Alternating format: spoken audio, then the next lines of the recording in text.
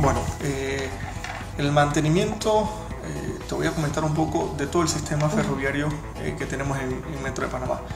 El, mantenimiento como tal eh, no, no arranca la noche o el día que toca mantenimiento. Esto eh, arranca desde una planificación eh, a grandes rasgos anual, donde todos los contratistas y todas las rutinas de mantenimiento hemos tratado de identificar las necesidades de una manera general en una planificación anual. Luego de ello, nosotros eh, partimos en una eh, planificación mensual de las distintas actividades y por último, 15 días antes de una actividad hacemos una planificación específica, ¿no?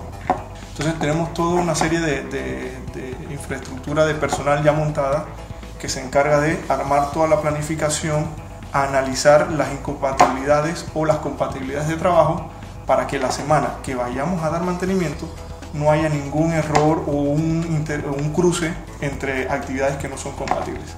Bueno, entonces, eh, dicho esto, ya que tenemos una semana ya planificada, donde tenemos los recursos humanos destinados, donde tenemos los equipos que sabemos que vamos a intervenir, se plasma en una programación y coordinamos todas las actividades con nuestra gerencia, con nuestro personal y siempre de la mano con el Centro de Control de Operaciones.